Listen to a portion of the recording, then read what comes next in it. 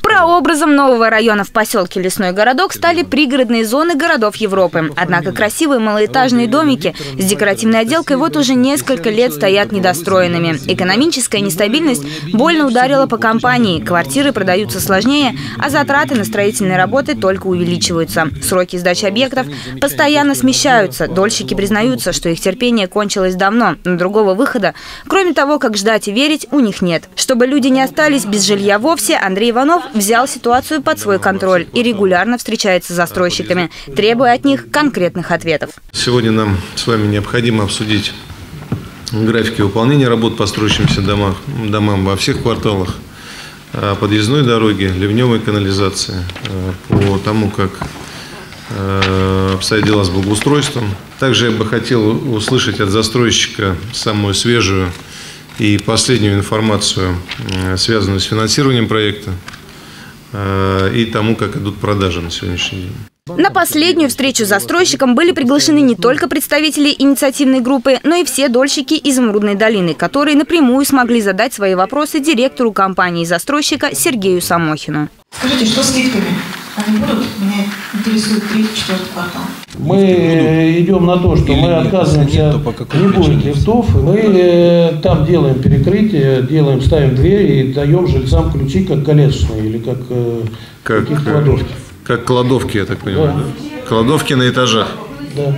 Иванов, в свою очередь, попросил Самохина не торопиться с принятием такого решения, как отказ от лифтов. Но больше всего дольщиков интересовал другой вопрос, а именно, когда уже завершится строительство. Сейчас ведутся работы по 32-му дому, 33-му, 34-му, 39-му и 42-му, которому мы планировали до конца апреля получить ЗОСы на 5 домов. И дома 36, 37, 40, 41, 43 до конца мая получить ЗОС. 44 45 это конец июня. Тем дольщикам, чьи квартиры будут достроены только в следующем году, Самохин предложил альтернативу. У нас э, сейчас подписан э, договор с инвестированием на 5 домов. Это 62, 63, 64, 65 и 66. Они будут вводиться в августе месяце 2016 года. Это 5 домов из 10 пятого квартала. То есть гарантированно, которые мы, тоже есть э, средства на окончание работ по этим пяти домам. Э, чтобы решить вопросы с дольщиками, э, у нас предложение вот, с, пост, с постконтрактом, с отделом постконтракта, у кого есть желание переселиться в эти дома, мы готовы предоставить информацию, какие квартиры у нас свободные по вот этим пяти домам, и переселить э, из оставшихся пяти дольщиков.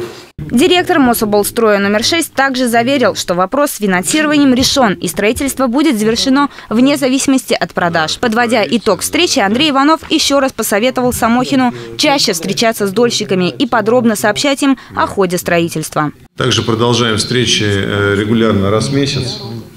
Э, и по вторникам, вернее по четвергам в 10 утра от нас железобетонно представитель администрации для участия в совещаниях. В целом разговор получился довольно конструктивным. Самохину повезло с дольщиками, у них железное терпение. А дольщикам, пожалуй, повезло с соседями, дружными, инициативными и спокойными людьми. Дарья Киреева, Артем Ломоносов, телекомпания «Одинцова».